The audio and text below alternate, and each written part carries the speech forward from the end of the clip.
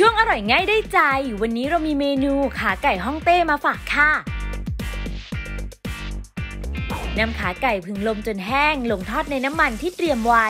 ทอดจนเหลืองกรอบ ตักขึ้นพักให้เสด็จน้ำมัน เตรียมไว้ ใส่ผงปรุงน้ำราดหมูแดงตราโลโบ เติมน้ำคนให้เข้ากันแล้วนำขึ้นตั้งไฟ ใส่ขาไก่ที่ทอดเตรียมไว้ลงในภาชนะ พอเดือดหรี่ไฟอ่อนเคี่ยวประมาณ 2 ชั่วโมง หรือจนขาไก่เปื่อยนุ่มแล้วปิดไฟ จัดใส่ภาชนะ